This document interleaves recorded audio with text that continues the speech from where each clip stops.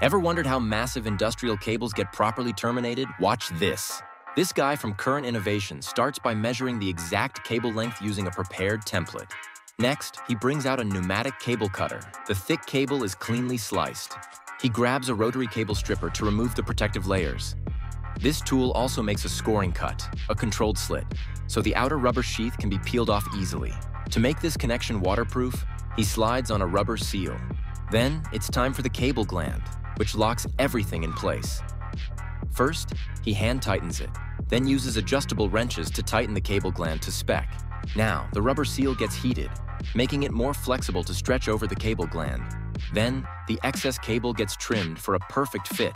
Now, he attaches the cable lug, ensuring the cable can be securely terminated. The cable is locked in place. Now he shrinks the heat shrink tubing, sealing everything up for total protection against the elements. And that's how you terminate a heavy-duty industrial cable.